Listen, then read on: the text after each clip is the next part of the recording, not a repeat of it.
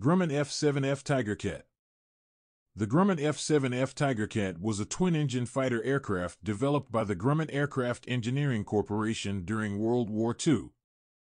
It was one of the largest and heaviest fighter aircraft to see service during the war. Here are some key points about the F-7F Tigercat.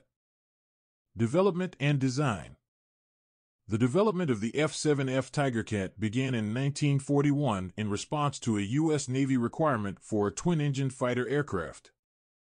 The design featured a twin-engine configuration, tricycle landing gear, and a shoulder-mounted wing. The Tigercat was designed to be a versatile aircraft, capable of both land-based and carrier-based operations. Performance The F-7F Tigercat was a fast and powerful aircraft. It could reach speeds of over 450 miles per hour. It had a